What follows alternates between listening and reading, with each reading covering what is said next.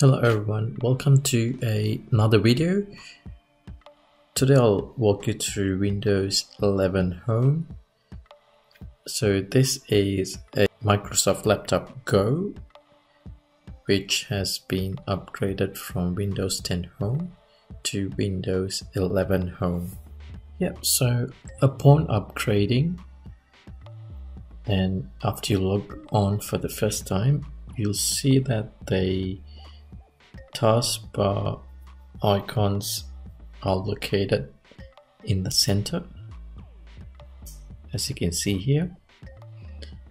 Uh, this can be moved you know uh, to the standard left hand side if you prefer to have it on the left. So at first glance this interface looks much cleaner than Windows 10 so to change the or the position of the taskbar such as the uh, the taskbar icon such as the start button the search and the other default apps like the file explorer icon you right click on the taskbar and you click on taskbar settings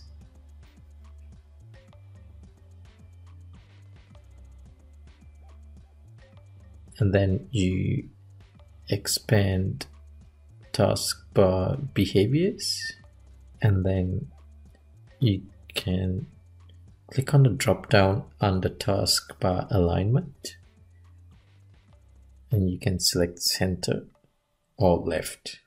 So currently it's on the center setting. I'll leave that as it is. Okay. So let's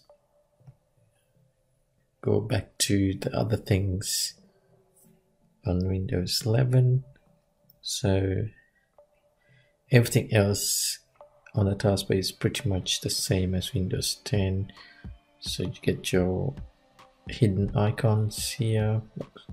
For example if you have Bluetooth on your computer. And then that's the Wi-Fi. So you click on that the internet volume and the battery icons are bunched up together or the settings are bunched up together. So if you click on that it will display the internet stuff here and your bluetooth setting airplane mode uh, battery settings accessibility mode and your brightness settings volume setting and this displays the battery percentage here on the bottom left. So I'm to click on this icon and see what options what the menu looks like. Yep it just displays available networks around your vicinity. So it's a bit cleaner than Windows 10 but I would say it's an extra step to view available networks. So you need to click on that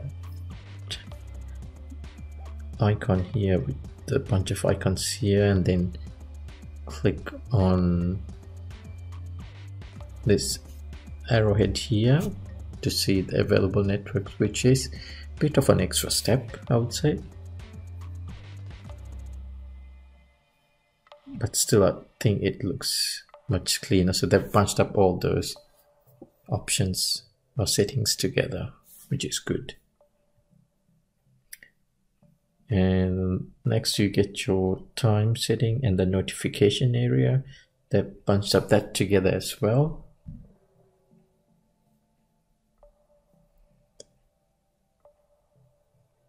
And then the widget has moved across to the left because we have set the taskbar to the center setting so the widget is on the left so let's see if we change the alignment of the taskbar to left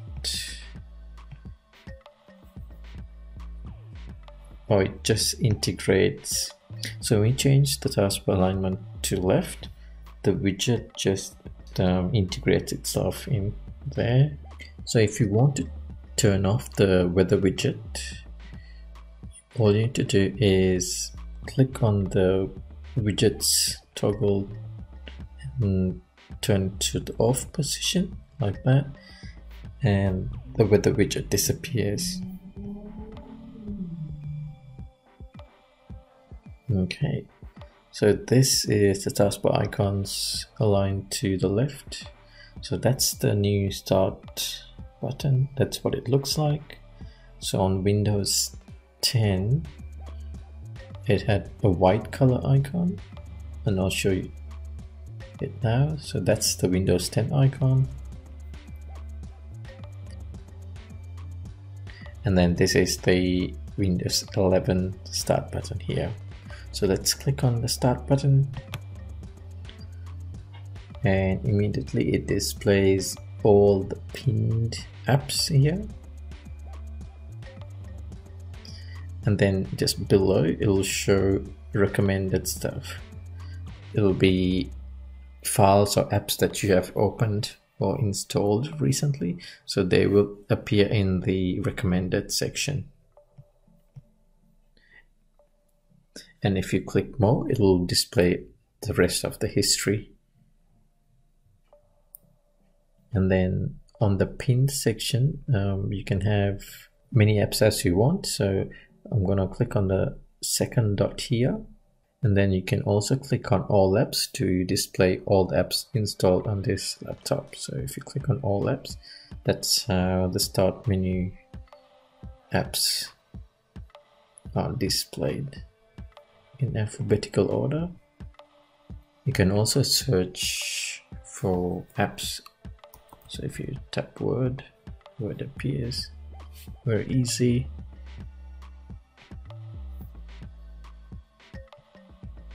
You get all the search function here as well. And the next thing is the desktop function so you can create extra desktops to store you know for different workspaces.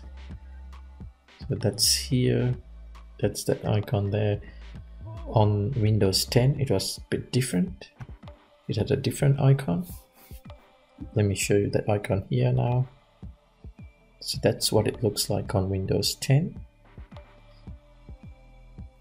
and this is the icon on Windows 11 to create extra desktop workspaces alright let's look at the settings area in Windows 11 so that's the settings icon there. Okay.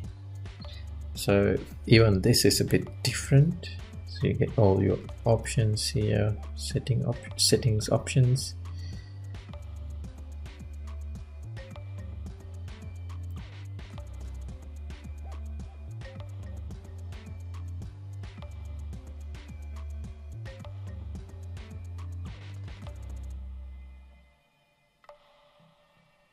So this is the system options here.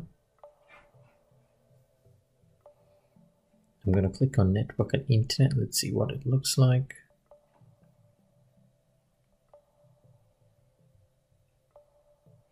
If I click on Wi-Fi,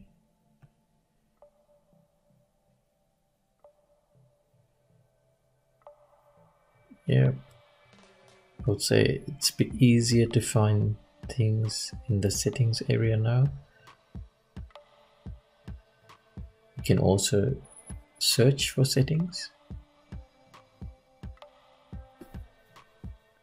I'm gonna also show you what the Windows Update page looks like. There you go. With the pausing function, update history, advanced options, and the Windows Insider program. Check the version that this one is running. So type in so it's running the 21H2 mission so guys that's just a brief overview of Windows 11 Home. Uh, I'll be doing a series of Windows 11 videos later to show you how to turn off and search for certain functions. And um, if you like the video give it a thumbs up. If you have any questions just put them in the comment section below. And please subscribe to the channel and see you in the next one